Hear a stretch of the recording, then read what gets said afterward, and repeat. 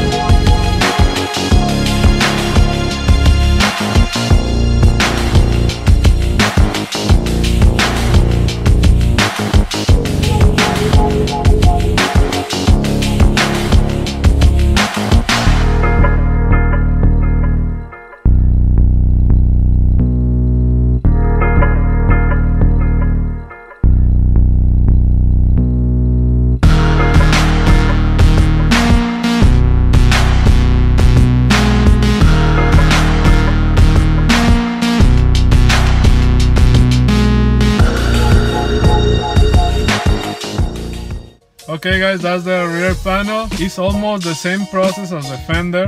You have to remove the parts, clean all the areas before you do it, and then put the place the vinyl, cut all the extra vinyl, and leave the this the part from the doors. So because we're gonna use it on the next one, that one you're gonna use on the next one for the doors. Okay.